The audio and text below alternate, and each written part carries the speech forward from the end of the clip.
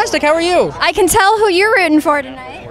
The Seahawks, of course. Russell Wilson. I've already met Marshawn Lynch, which was, I think I can cross that off my bucket list. That was pretty rad. I, I, know because he comes. He was the first one here. He was the first one here. I noticed him instantly. Tell me a little bit about Dolphin Tale 2. Well, Dolphin Tale 2 is coming out September 12th. It's the sequel, obviously, to the first one. Uh, but also, uh, Dolphin Tale 1 was based on a true story, and so is this one. It's more of Winter, uh, the Dolphin's true story, which is which is so unbelievable. Have you ever heard of a sequel to a true story?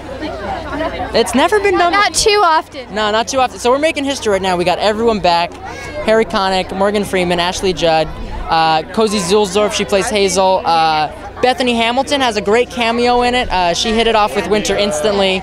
Great scenes, great movie. I'm really excited for people to see it. Well, I hope you have a great night tonight and get to meet more Seahawks fans. I hope so. Fingers crossed. Thank you so much.